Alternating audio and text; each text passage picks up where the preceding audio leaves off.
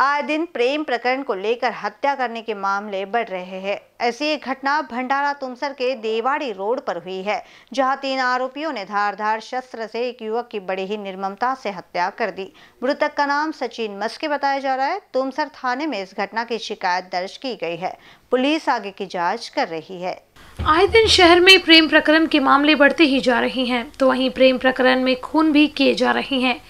ऐसी ही एक घटना भंडारा तुमसर के देवाड़ी रोड पर हुई, जहाँ तीन आरोपियों ने धारधार शस्त्र से बड़ी ही निर्ममता के साथ एक युवक को मौत के घाट उतार दिया।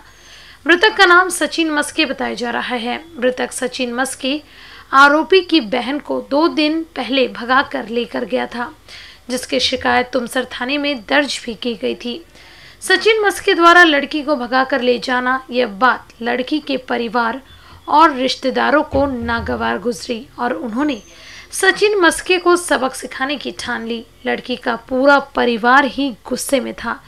जब सचिन मस्के घर वापस आया, तब लड़की के रिश्तेदारों ने सचिन मस्के को दोपहिया वाहन में बिठाकर तुमसेर के देवाड़ी रोड पर ले आए और कोई कुछ समझ पाता। इसके पहले ही एक लड़के ने अपने दोपहिया वाहन की डिक्की से धार धार शस्त्र निकालकर उस पर वार कर बड़ी ही निर्ममता के साथ सचिन मस्के की हत्या कर दी।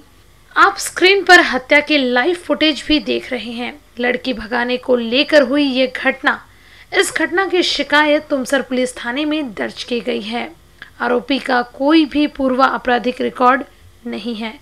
फ़िलहाल तुमसर पुलिस आगे की जाँच कर रही है। तुमसर से कैमरा पर्सन अखिलेश भरद्वाज के साथ संजय मीरे की रिपोर्ट।